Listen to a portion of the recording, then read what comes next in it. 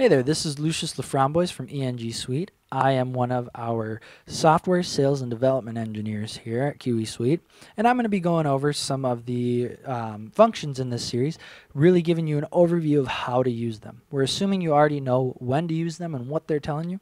So in this, we're just telling you how to use them and how to get a little more out of them. So if you need more background as to how our documentation is laid out and how to navigate it and a little bit more background on QE Suite and how it works, head over to the capability analysis video.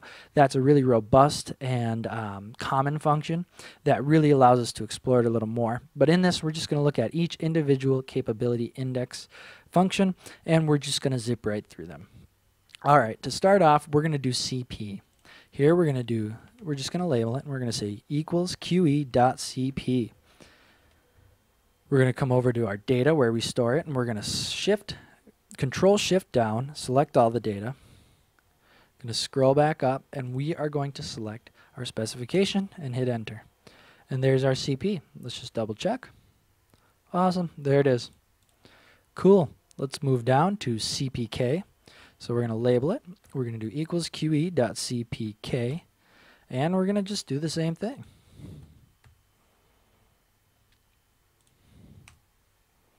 Awesome. All right.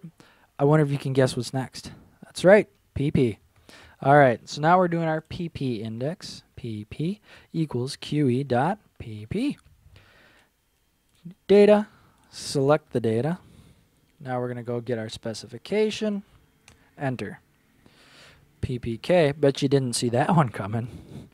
Again, data specification, these are all the same function, just a little bit different. QE.ppk, data, select it, go up here, do specification, and there we go. That's all four capability indices. So that's it. They're pretty simple, they're pretty simple uh, little analyses that you can do. So if you want to do them all together and if you want to generate this graph, make sure you check out the capability analysis function. It's a little more in-depth, does a little more. But these were the individual index indices. Thank you so much for watching. Have a great day, and please do something awesome.